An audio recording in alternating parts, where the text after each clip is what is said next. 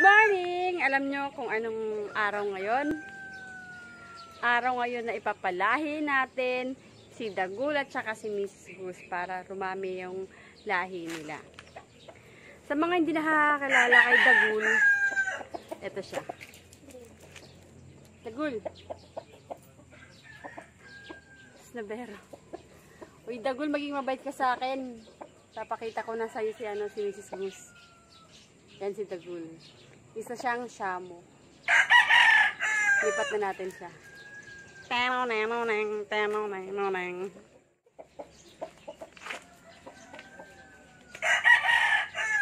Wait lang.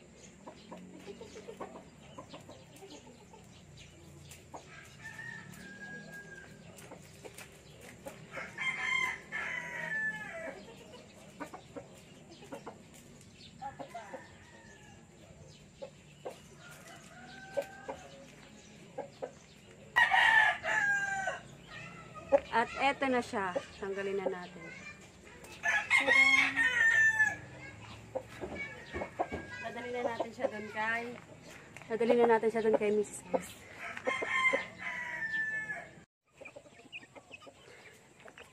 Ito yung gagamitin natin na room.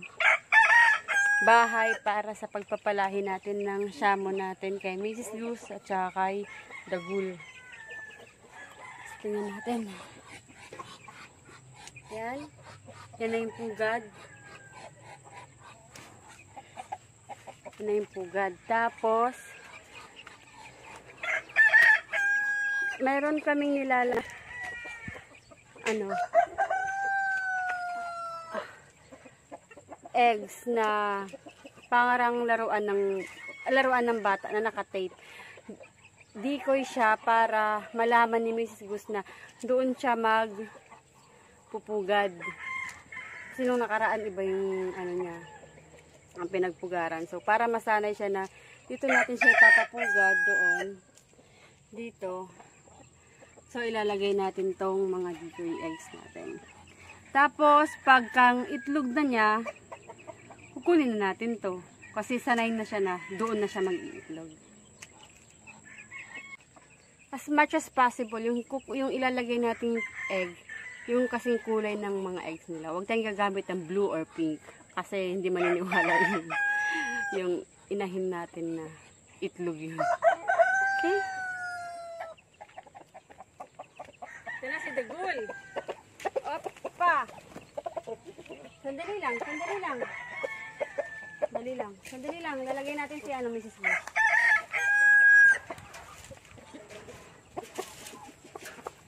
Dagul. Pwede natin si Mrs. Goose. Siya si Mrs. Goose. Ang shamo ay nangingitlog ng 260 a year. Paglalahiin na natin sila ni Dagul. Malaki siyang manok. Siyang shamo. Sabi ko nga, ito ay pure na shamo kasi nga dun sa kanyang features. Sa kanyang ano, katawan. Tara! Dali na natin siya dito. Yay! Magkikita na sila ng kanyang sweetheart. Oh. Hello, Philippines. Hello, world. Oh, Sandali lang, sandali lang. Huwag kang lalabas. Huwag kang lalabas. Yan na, sige na.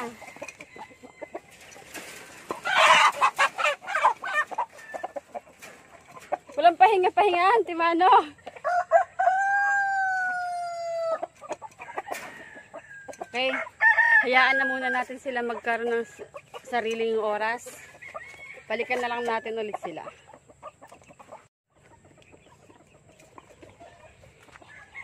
Kikita nyo, hindi alam ni Mrs. Gusto na pupunta.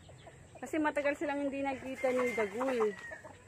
Kaya medyo hindi pa siya sanay ulit. Nagugulat pa siya. So naman si Dagul, excited, antimano, gusto-gusto agad. Laman lang ligawan po siya ng kumustahan. So yun, magpaparami na tayo ng ating shamo at magdadagdag tayo ulit sa ating mga alagang manok. Sana nag-enjoy kayo sa aking maliit na video. Sana supportahan niyo pa ako lalo. Habang nagpaparami tayo ng mga alaga natin sa ating bakuran. Maraming salamat sa panonood! Buyers!